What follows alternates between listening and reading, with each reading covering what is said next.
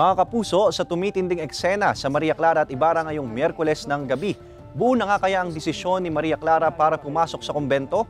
Tuluyan na nga rin bang ibubunyag ni Padre Salvi kay Tiago ang pinakatago-tagong sekreto ni Padre Damaso na siya ang tunay na ama ni Maria Clara? Habang si Clay, patuloy pa rin ang paghahanap kay Ibarra. Mababago nga ba ni Clay ang kapalaran ng mga karakter sa nobela? Huwag palampasin ang mga kabang-abang na eksena sa Maria Clara at Ibarra, hashtag MCI Kumbento o Kamatayan sa GMA Telebabad at Kapuso Stream sa gmanetwork.com slash Kapuso Stream.